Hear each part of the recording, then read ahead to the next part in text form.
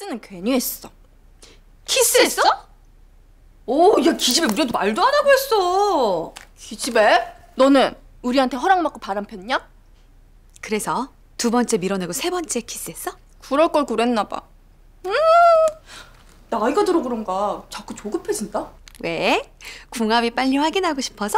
아니 그런 게 아니라 생각해보면 연애하는 중에 첫 키스하는 날이 제일 행복한 것 같아. 그렇잖아. 친구인지 연인인지 서로의 마음이 어디까지인지 딱 그 경계에 있는 게 키스잖아. 키스가 몇 분이나 되겠어. 1초든 몇 분이든 키스가 딱 끝나고 나면 그 두 사람은 신세계로 접어드는 거잖아. 연애라는 신세계. 맞아 맞아. 나는 키스할 때보다 키스하기 1분 전이 제일 좋아. 이 남자가 나한테 키스를 할까 안 할까 궁금할 때, 내가 이 남자한테 키스를 할까 말까 망설일 때. 아까 거기 애들이 많이 지나다니는 길이라서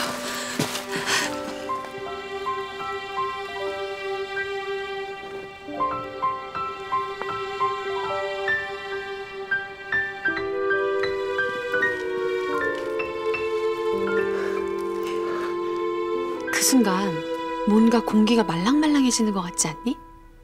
네가 먼저 다가올래? 내가 먼저 다가갈까? 그 남자와 나 사이에 흐르는 그 미묘한 권력 다툼 같은 거.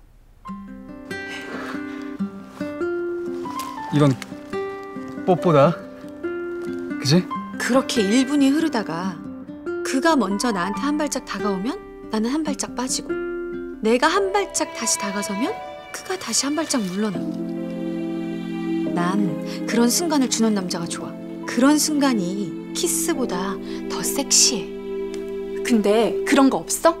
별로 좋아하지도 않았는데 키스하려고 다가올 때 밀어내지 못했던 거. 나 있어 아무 생각 없었는데 느닷없이 입 맞췄다가 뭔가 특별해진 사람 네가 한둘이겠냐? 반대로 되게 설렌다고 생각했는데 갑자기 다가오면 확 싫어지는 사람도 있잖아 어, 맞아 맞아. 그 이유가 뭘까?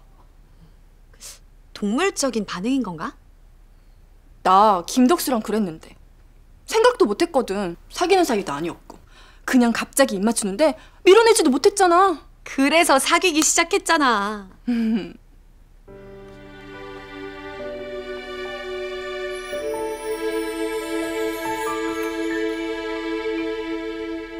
그렇게 따지면 오지랖은 별론 것 같아. 네가 키스 품질을 따질 때가 아니지 지금. 왜 아닌데? 너는 남자의 키스를 탓할 게 아니라 네 스스로 너의 필살기를 연마해야 될 시기라고. 필살기? 반드시 필, 죽일 살. 테크닉 기.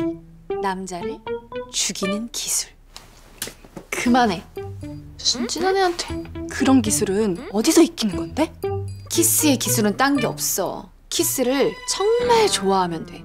연애의 기술? 그딴 것도 없다. 남자를 정말 좋아하면 돼. 쓸데없는 소리야 맨날 지도 한정민이랑 삐그덕거리는 주제 아 맞다, 아 맞다, 아 맞다, 아 맞다, 아 맞다. 자, 이거는 열매 거, 이건 지희 거, 그리고 이거는 선배 거. 선배 거는 시계야. 우리 셋 목걸이 맞춘 거다. 웬일이야? 이렇게 기특한 짓을 다 하고? 근데 이거 수갑 같지 않니? 무슨 수갑? 영원히 우리 셋은 같이 늙을 거라는 그런 상징물 같은 거? 좋지 뭘 그래. 우린 우리끼리 잘 지내야 하는 팔자리잖아. 시집 안 가려고? 너도 한번 갔다 왔으니까 나도 한번 갔다 올게. 내가 너한테 질 것 같냐? 네가 한 번 가면은 나는 두 번 갔다 올 거야. 뭐야 그럼 나는 니네 이기려면 세 번은 가야 되는 거야? 아이고, 네가 세 번씩이나 뻥치지 마.